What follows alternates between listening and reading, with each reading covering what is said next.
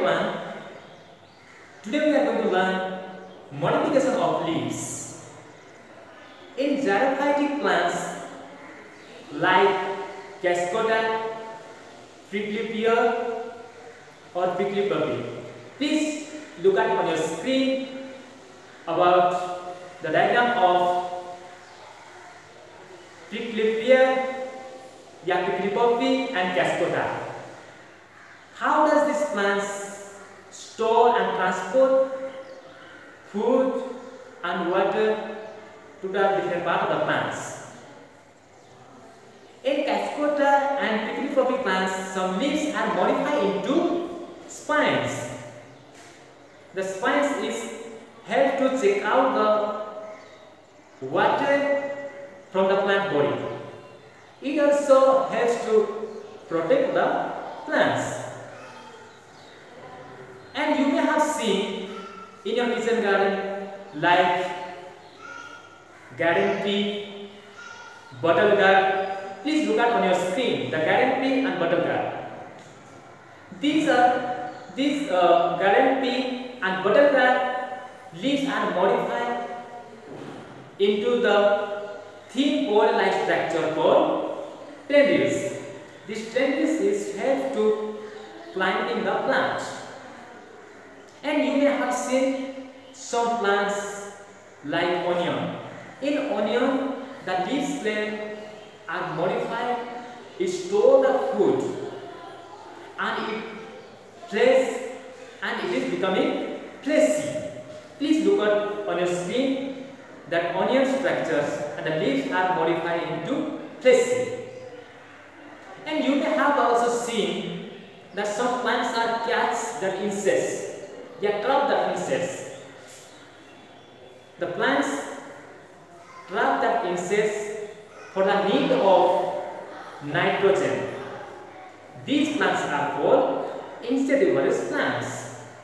Please look at on your screen insectivorous plants like pitcher plant and sandalwood plants. Now you can see on your screen Vegetative propagation by leaf. You may have seen that Bryophyllum plants and Begonia plants. These plants are produced by the leaves. What do you mean vegetative propagation by your leaves? Please look at on your screen the definition of vegetative propagation.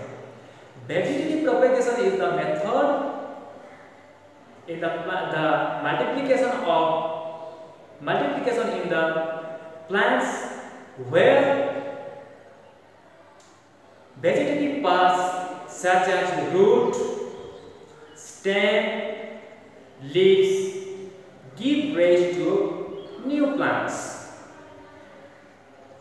In this method, yeah, vegetative propagation, reproductive organs do not take place by these methods.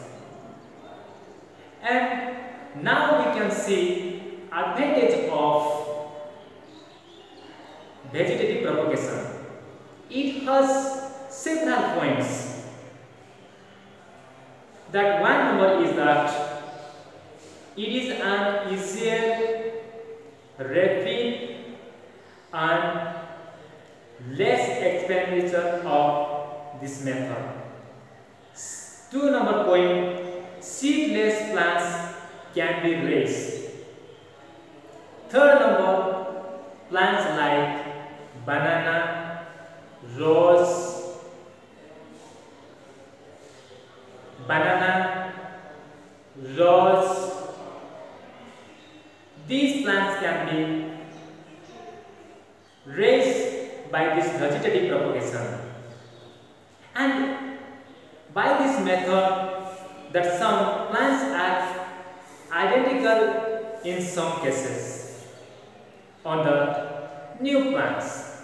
So dear students, in this lesson we learn types of leaves, method of leaves and vegetative propagation by leaves and advantages of the leaves.